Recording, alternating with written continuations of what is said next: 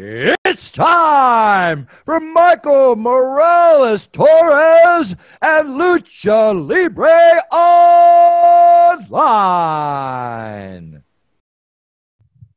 Saludos a toda la afición de Lucha Libre Online. Este que les habla es Michael Morales Torres, integrante de Lucha Libre Online. Y tenemos el enorme privilegio de presentarles a nuestro invitado en la tarde de hoy, el primer campeón light heavyweight en la historia de la UFC, CEO, keynote speaker, producer, martial arts master himself, future UFC Hall of Famer, Frank Shamrock. Mr. Shamrock, it is such an honor to have you as our guest. How are you doing today, sir?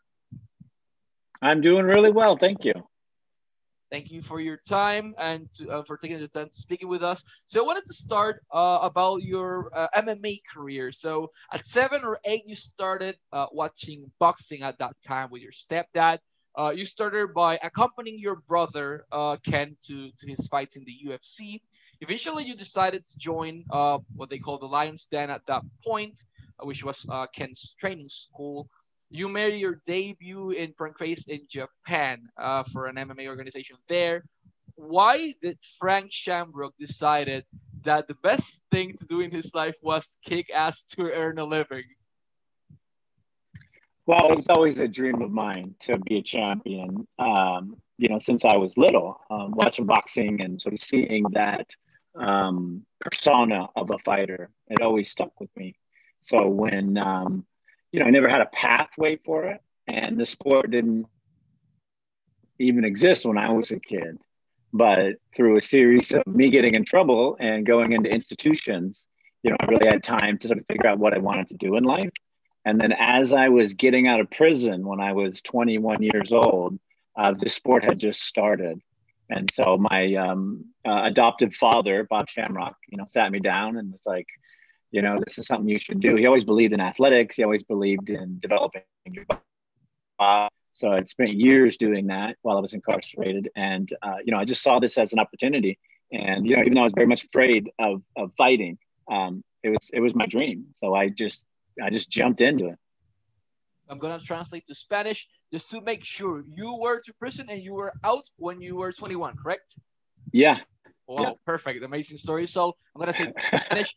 Frank Shamrock eh, tiene un pasado muy extraño eh, y complicado en su vida. En su momento dado eh, estuvo en prisión hasta que tuvo 21 años y este, se sentó a hablar con su padre adoptivo, Bob Shamrock, en un momento dado. Siempre quiso hacer esto para vivir, siempre le, apasionaron las artes marciales mixtas. Cuando él sale de prisión, entonces es que comienza esta, este arte marcial mixto que en su momento dado fue No Holds Barred a crecer, a florecer en el mundo entero y él una vez se sienta con su papá y decide esto es lo que quiero hacer el resto de mi vida.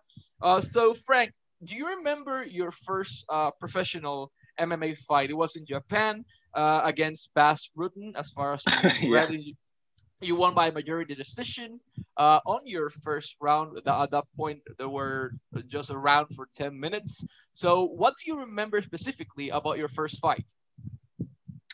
Uh, well, the first fight was, well, you know, I was very, I was just very much afraid, and even though I had done the training, I never did professional competition before. I could tell very quickly. Actually, I moved to Japan and finished my training in Japan. You know, living in the Japanese dojo, and it was there I sort of realized who Bas Rutten was, and that everybody feared him.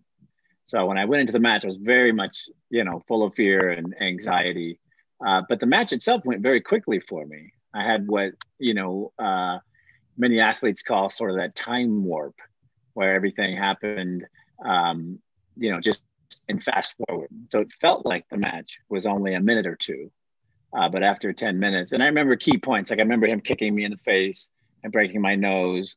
I remember him talking to me and like saying, you know, oh, I've got you, and I'm so strong, and you know, just saying funny things um, I remember him kicking me in the leg and sort of the pain around that. Uh, that's it. And then, you know, then it was over and, and I won. And instantly I was famous in Japan, which, you know, was very new to me.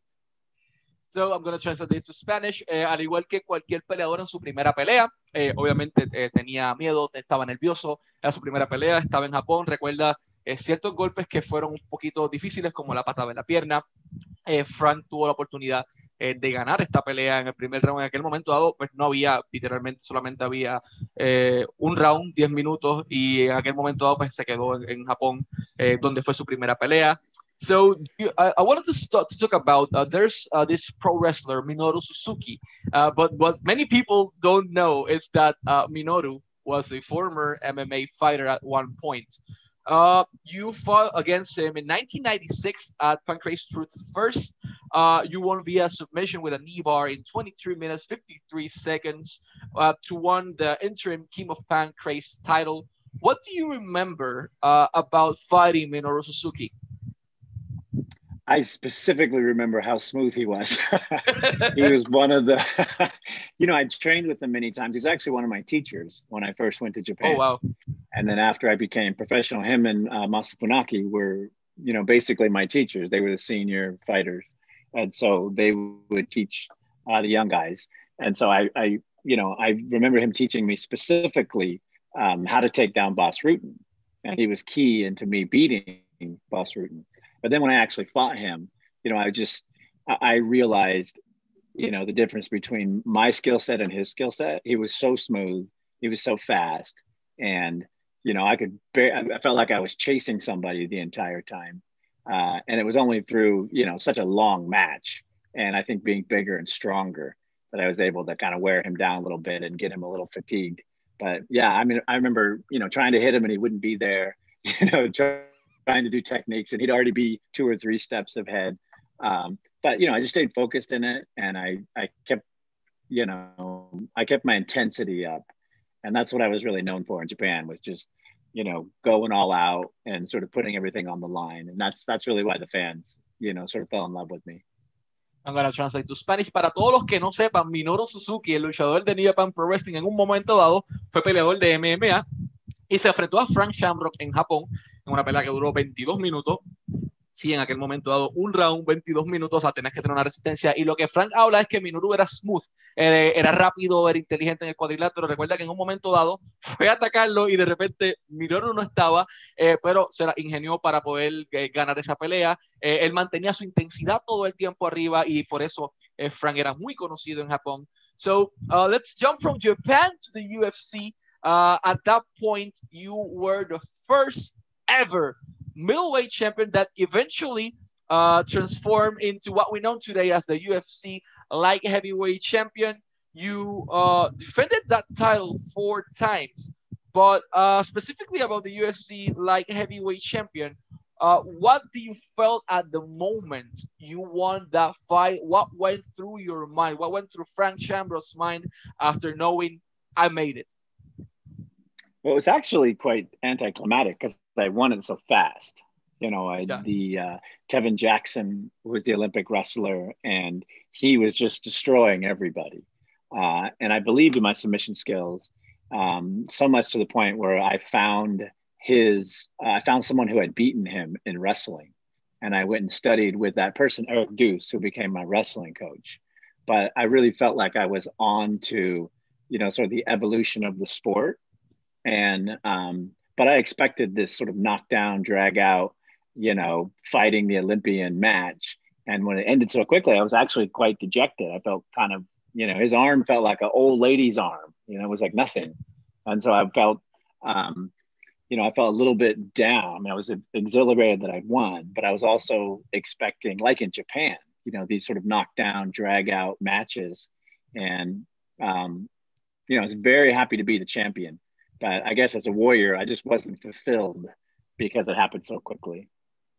So going to translate that to Spanish. La primera, eh, la pelea por el campeonato de UFC Light Heavyweight, que en su momento fue el campeón middleweight, eh, pero eventualmente se transformó en Light Heavyweight, fue ante Kevin Jackson. Este caballero era un luchador. Eh, y Frank decide eh, buscar una persona que derrotó en su momento dado a Jackson para que esa persona fuese su coach, o sea que lo estudió completamente, una manera muy inteligente de, hacer esa pelea, entonces él estuvo esperando eh, estos knockdowns, estas arrastradas en un momento dado, o esos takedowns o esos dragdowns como él le menciona, pero no ocurrieron, eh, le ganó sumamente rápido. Y así fue que, Frank ganó su primer campeonato light heavyweight de la UFC y se convirtió en el primer campeón light heavyweight de la UFC Uh, you defended that title four times against uh, Igor, Jeremy Horn, John Lober, and Tito Ortiz, and you held the title for 703 days, and you left everything undefeated uh, as a champion.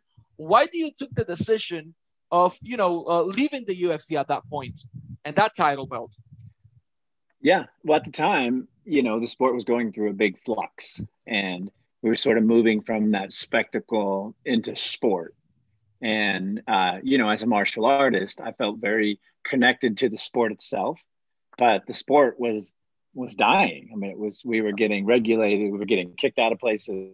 We didn't really have um, the rule set and sort of the sporting structure that we had today. And that was part of my job as champion was to go around and champion that idea and help teach people.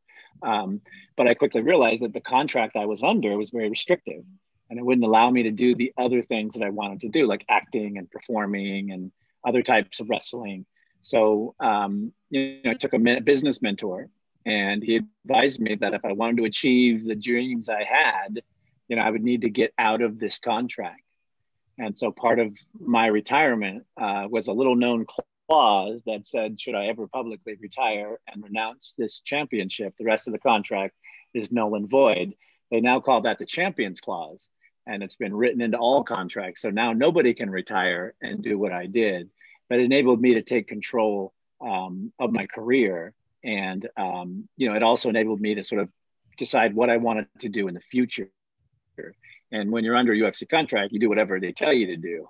Uh, you know, in, in, particular at that time because the sport was so small. So it was probably the best move, move I ever made. Uh, but yeah, giving up my title was pretty hard at that time. I'm gonna go to Spanish now. Eh, para que no sepan la historia, Frank Shamrock fue, como mencioné, el primer campeón UFC Light Heavyweight Champion en la historia.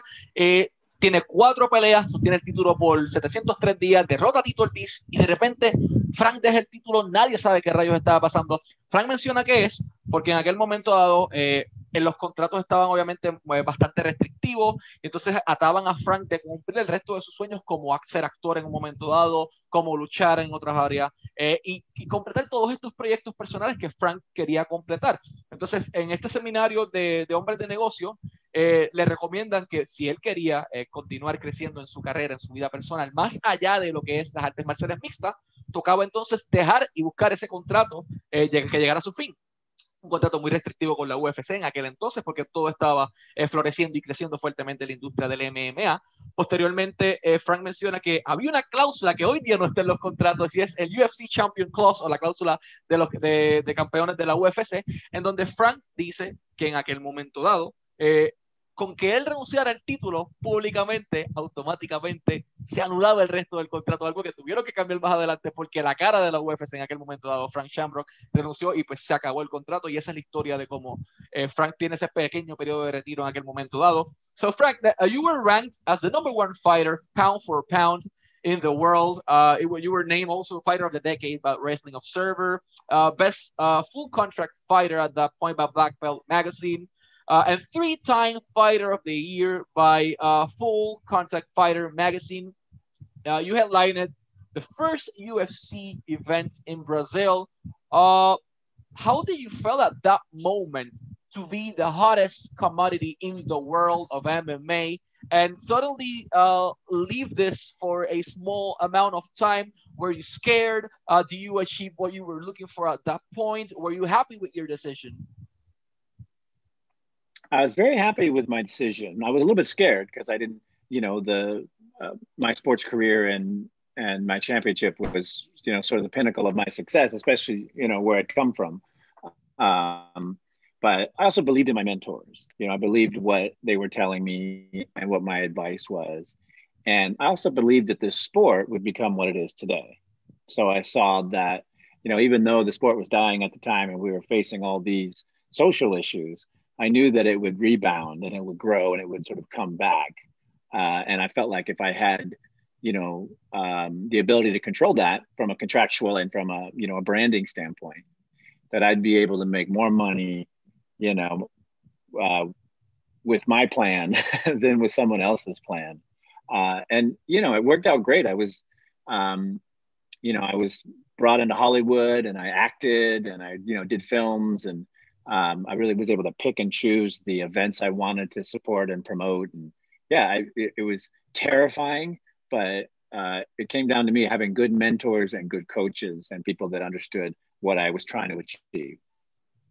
I'm going to translate now to Spanish. Le pregunté obviamente sobre, eh, Frank fue el peleador número uno libre por libre en el mundo, tiene un montón de récords, el peleador de la década, eh, y de repente deja esta industria tan prestigiosa como lo es el MMA, eh, que si sintió miedo en algún momento dado, si se sintió feliz con la decisión, Frank deja claro que, claro, se sentía, sentía ese temor en un momento dado, porque la UFC era lo que en el momento dado el MMA, lo que lo había catapultado, pero que estaba muy feliz con su decisión, porque finalmente podía, en sus propios términos, y bajo su propio contrato y a su ritmo, crecer en otras áreas. Tuvo la oportunidad de ir a Hollywood, de ser actor en Hollywood en película, eh, tuvo la oportunidad de hacer las cosas a su manera, a su estilo y a su ritmo y no se arrepiente de, de ello eh, y le tuvieron la oportunidad de crecer en, en, otras áreas, que es lo más importante. So, uh, Frank, let's talk about uh, today's uh, UFC light heavyweight division, both in, in UFC and, and Bellator. Uh, you have Vadim Nemko, as far as we know, as the champion in Bellator, which is an incredible fighter at this point. And you also have uh, Joe uh, Jan uh, Blachowicz, I think that's the way uh, we pronounce the name of the UFC fighter, uh, with the light heavyweight champion at this point.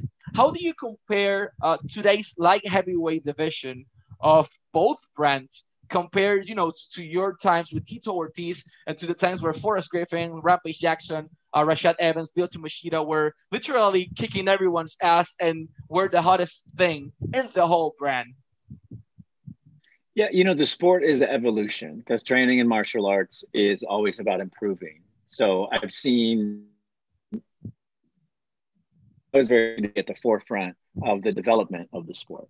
And so, you know, in my time period, there was you know the, the, martial arts styles had mixed properly you know there was still singular arts that were more dominant and that's why you saw kickboxers and then grapplers and then you saw this wave of sort of styles that were successful and you know one of my biggest goals was to become the first complete fighter you know to, to develop a system that didn't have any weaknesses um, you know much like what bruce lee talked about you know creating this you know perfect fighting system with the knowledge that was available.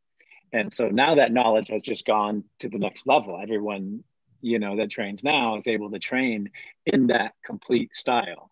So there's no weaknesses per se. So I, you know, I'd, I'd love to say I compete with these guys. I'd love to say I'd be able to kick their butts, but the reality is evolution has moved on.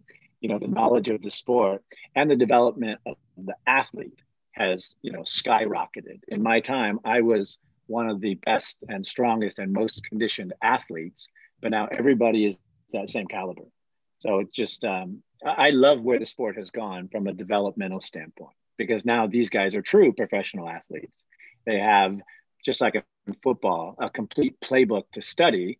And when done properly, you know, they're, they're monsters.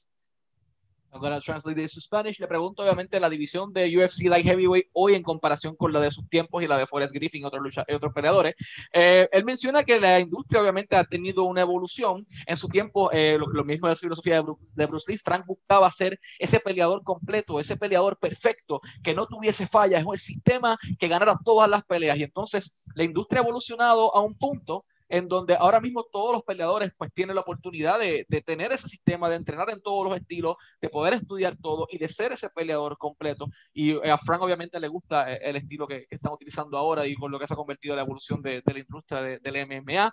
Uh, Frank, uh, let's talk about UFC uh, paychecks back then. So I had the opportunity to speak with Dan Severn, and in the 90s, he fought for a thousand dollars. Like he was yeah. risking his life for a thousand dollars. And now you see this billion dollar bags at the end of the fights, plus the things you won if you bet on yourself in, in, in Las Vegas and everything. Uh, but compared to your time, uh, this million dollar uh, fights with guys with Conor McGregor, Khabib, and many others, uh, how were salaries uh, in the UFC specifically and, and Japan back in your time? Well, Japan paid really well. You know, they were, uh, I would say, uh, ahead of the market because they had a bigger audience at that time. Uh, we toured all of Japan, went to all the major cities, went to all the major arenas. And so it was quite lucrative in Japan. And you know, that's that's really where the money was. Um, in fighting in the UFC, my first fight, um, I got 10 and 10, 10,000 to show, 10,000 to win, uh, to beat Kevin Jackson. And then I think I went to 20 and 20, 30 and 30. Uh, so I, I was making money. Um, but then the sport kind of tanked. And so to fight Tito Ortiz, I made $60,000 but it cost me, you know, 22,000 to train. So I made about 40, you know, a little, a little less than $40,000 wow. for that match, which, you know, I would make if I were a mechanic or a, a handyman or any of these other uh, traits. Um, so it's, it's great to see the, you know, the evolution of the sport and, you know now you can do it for the money we weren't really doing it for the money at the time we were really doing it for martial arts competition and you know sort of testing ourselves and um, but one of the key reasons that i retired was the sport was in decline and so the money was actually getting lower and lower and when i sat down and you know did the numbers i was risking too much for how much i was making and so that's when i decided no if i'm going to risk it i'm going to control it because then I can justify the risk better. And I know what, you know, is at the end of that rainbow or at the end of that, you know, behind the door, behind the risk. Um, and so that's, yeah, but it wasn't a lot of money, that's for certain.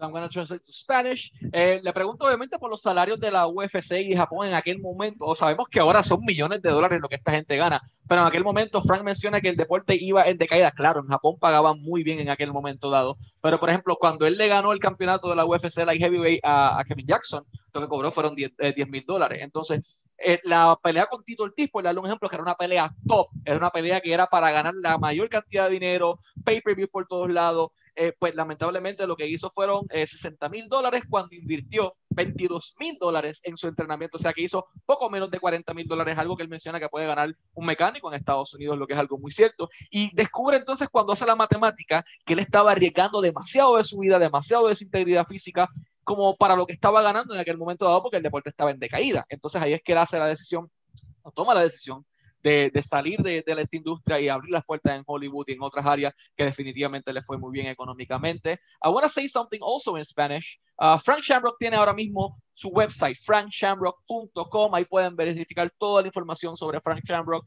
Eh, eh, eh ahí mismo, Frank Shamrock com slash doc pueden ver su documental, un excelente documental de Spike TV, eh, en donde Frank habla de toda su vida, de todo su pasado, eh, al igual que lo que hizo para convertirse en lo que fue y lo que es hoy día, un excelente documental que le recomiendo a todos que vean. En adición a esto, pueden seguirlo en todas sus redes sociales, Facebook, Instagram, Twitter y LinkedIn como Frank Shamrock y en YouTube como Frank Shamrock eh, Inc. Al igual que eso, pueden verificar su bio.com slash bio.fm slash eh, Frank Shamrock, y al igual que eso tiene su organización benéfica en donde ayuda a veteranos de guerra eh, y a personas heridas eh, como jóvenes y mujeres en, en shamrockwave.org para todas las actividades benéficas que él está ahora mismo organizando. Porque de frankshamrock.com slash doc para ver este excelente documental y al igual que eso, eh, tiene su podcast disponible que va, poco a poco van a desarrollar contenido para Spotify, uh, Stitcher y Apple Podcasts. Eh, Frank, uh, you run a franchise of school, uh, merchandising company. Uh, you are uh, basically the, the owner of Frank Shamrock Inc. You were at the point MMA entertainer uh, entertainment and, and, mixed martial artists, but you are now training law enforcement officers. Uh, you're saving lives, like you saved uh, the people that uh, I read a testimony of a woman that was pointed at a gunshot, and your training was the thing that saved her life. Uh, also, uh, Mauro Ranallo said that you saved uh, his life, who is also a former uh, WWE commentator. Uh, yeah. What is Frank Shamrock doing these days? How is Frank Shamrock saving so many lives? well, I have a I have a um, I have a very powerful skill set, which is I know how to you know defend myself and protect people in situations. And so early in my career, I started sharing that because I felt like it was a gift. And it started with law enforcement when I started teaching martial arts classes you know the law enforcement officers would stay over and ask more questions and so i ended up developing a program for them and um, you know when i got married i realized my wife needed more protection she needed to sort of understand how to do that so i you know i wrote a program for them Uh, but it all comes from the training that I did. And that all comes from the experience that I had because I was in the same situation. I was in a uh, unknown sport that was developing. I didn't really know how to fight, and so it was through you know learning and studying and sort of having this you know martial mindset that I was successful. And now I apply that to everything, to business, to um, leadership. I do a lot of coaching now. And for Mauro Ranallo, uh, I actually saved him with the Heimlich maneuver. He was choking on a piece of fish. And um, I had studied the Heimlich just randomly because I thought this would be a great thing to know. And I understood the mechanics of it through studying the body for martial arts. And so we're literally eating. I look up, he's choking, and I go, Oh, I'll do the hind leg. And I yeah, totally saved him. And he was the uh, first person. I saved another woman in Las Vegas, a total stranger uh, who was eating right next to me. And I watched her go through the same experience. And, um, you know, I just realized I had a little experience with Mauro. And so I, I actually quietly stood up, went over and did it. And then because I already paid for my meal, I just walked out like a, uh, like I was some superhero. I just left, saved her, and then walked out. Never said a word. Nobody knew it was me, and I just carried on with my day. But that's that's what training in martial arts, you know, gives you is that understanding of your body, how to use it, a mindset of dealing with certain situations or dealing with problems or dealing with, you know, challenges. And it's through that mind training, through that body training, through that spiritual training that I'm able to, you know, pretty much do anything that I put my mind to. So I'm gonna translate this to Spanish because it's an amazing story. Frank Shamrock ahora mismo se dedica literalmente a salvar vidas. Él, él desarrolla este programa eh, de defensa personal con sus habilidades, porque él descubrió obviamente que, que, personas como su esposa necesitaban defensa, necesitaban estar seguras en un mundo en donde estamos tan complicados. Entonces desarrolla este sistema eh, que ha ayudado a miles de personas en todo el mundo. Eh, hay un testimonio de una persona que estaba con una pistola a la punta de su cabeza, le estaban apuntando con un arma y el sistema de Frank es lo que salva su vida. Pero vamos más allá del sistema. Frank salva vidas personalmente. Entonces, comiendo con Mauro Ranalo, en su momento dado, él fue comentarista en NXT, ahora es comentarista de, boxeo y de diferentes deportes, pues comiendo con Mauro, eh, Frank aprendió una técnica para salvar vidas y eso fue Mauro se ahoga con un pedazo de pescado que se le queda en la garganta y Frank procede a salvarle su vida. Lo mismo ocurre en Las Vegas. Este, Las Vegas ve una persona completamente aleatoria, nunca la había conocido, eh, se está ahogando con su comida y Frank decide salvarla en esos momentos. Se esta técnica, le salva la vida a la persona y como ya su cuenta estaba paga, Frank simplemente se paró, siguió su camino y nadie se enteró que fue él. O sea, como un superhéroe, algo súper increíble. Eh, Frank, what are you doing these days? I mean, you are staying busier than ever. You are available on cameo.com slash Frank Shamrock, among many other things. What is the former UFC like heavyweight champion and future UFC Hall of Famer is doing these days? I do a lot of coaching. Um, so I have a lot of, you know, business executives, um, business owners, you know, athletes who come to me and they're looking for sort of a mental edge or, you know, how do they get to that next level in business, life, personal. And so I have a coaching program that that I um, that I do, and I do mentoring. I do a lot of mentoring. Our uh, nonprofit does a lot of outreach to at-risk communities. So that's you know veterans, homeless, battered women, and so we have programs that have written same same process. there's a need, there's a concern. I write a program. You know, we put resources behind it. Um, and then my core business is really asset management. So I've developed a multi-million dollar brand and I monetize that. And then I help other celebrities do the same thing, bring products to market, create programs, you know, further monetize, you know, what their assets are, what their skills are. Wow, I, I actually multi-million dollar company. So let me translate this. Frank Shamrock estos días obviamente se mantiene ocupado, está haciendo eh, coaching, está haciendo motivacional, este, motivational speaker en su momento dado, está dándole también coaching emocional a, a, mismos peleadores a las personas que se acercan a él. Es una persona que siempre va a estar ahí pa, para las personas que lo necesiten.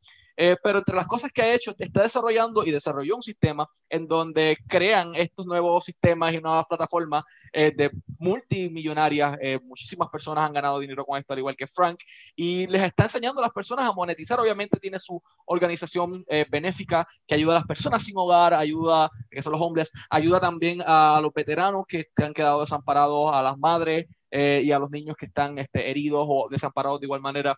Y es un excelente gesto. Para todas las personas que quieran saber más sobre su organización, está disponible en shamrockway.org. Shamrockway.org. Ahí pueden escuchar de todo y enterarte de todo lo que está pasando con la organización benéfica y las diferentes actividades benéficas que tiene Shamrock uh, para, para esto. Uh, Mr. Frank, last but not least, uh, since we're also a pro wrestling brand, I want to talk to you about uh, pro wrestlers uh, making the, the switch into the fighting to the in the octagon. So we have guys like Brock Lesnar, CM Punk, Bobby Lashley, Dave Bautista, Thunder Rosa, Alberto El Patron, uh, and even Jake Hager right now in Bellator. What are your thoughts about pro wrestler uh, or pro wrestlers uh, deciding to expand their horizons and jumping inside the octagon? I love it. You know, I think the the sport is you know athletic, character driven, and that's exactly what professional wrestling is. And you know, when I was a young guy, I watched professional wrestling and I studied it because um, you know those are very important characters to society, you know, because they're a mirror of us. And so, when you have someone who understands, you know, how to portray a character and then already understands how to use their body, and that's the hardest part about fighting is you, you're using your body as a tool, a tool of art. And professional wrestlers already have that. So it's a natural transition for them to move into everything that's athletic and entertainment based. So I love I love the crossover and I hope there's more of it. You know, the only downside is you know, mixed martial arts fighting is very real and there's very real and dangerous injuries that people are purposely trying to inflict on you. In wrestling, it's accidental. You know, someone it accidentally misses the move or you take a bad bump. But, you know, in fighting, we're all trying to hurt each other. And so that's the only learning curve, you know, that really needs to be, you know, leaped over for those guys to make the jump. But I love I love the combination of it, and it's something I employed early on. You know, define your character. You know, stand for something important, and then make sure you're always delivering both the character and your performance. I'm gonna translate to that. Le pregunto sobre el, el, cambio que han hecho muchas superestrellas de la lucha libre al mundo del MMA, como Brock Lesnar, CM Punk, Jake Hager, entre muchos otros. Y a Frank le encanta la transición, entiende que es algo muy natural, porque obviamente son atletas naturales, son personas que tienen ese carisma, tienen ese personaje. Y entonces la transición surge muy natural, pero menciona algo bien importante, y es que en la industria de la lucha libre las lesiones son accidentales. Tú no estás intencionalmente intentando lesionar a alguien, pero en el MMA sí.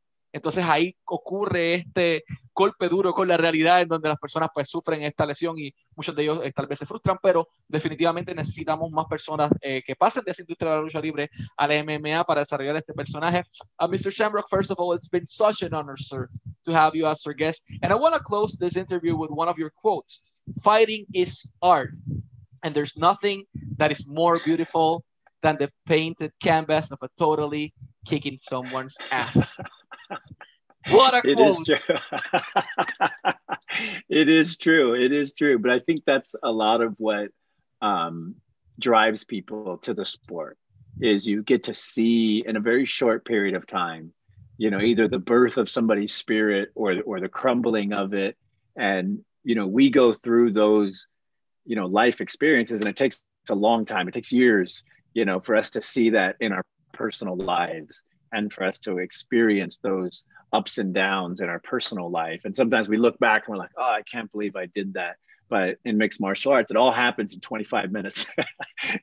you get to, you know, see your guy, see his journey, and then, you know, there's a, a very human eh, interaction with that result. And that's what is so beautiful about this sport. And when done properly, it is absolutely beautiful you know to to take someone on that journey both as a entertainer and then as a spectator like it's a it's a wonderful thing Perfect, sir. Thank you so much for your time and for your words of wisdom. Para toda nuestra afición, sígalo en su Facebook, Twitter, Instagram, LinkedIn como Frank Shamrock, YouTube, Frank Shamrock Inc., cameo.com slash Frank Shamrock. frankshamrock.com slash doc para el documental, entre muchísimas otras alternativas, frankshamrock.org eh, disculpa, shamrockway.org para su organización benéfica. We thank you so much for your time and for your words of wisdom, sir. And we're always wishing you the best of luck in all your projects. Thank you, sir. Thank you.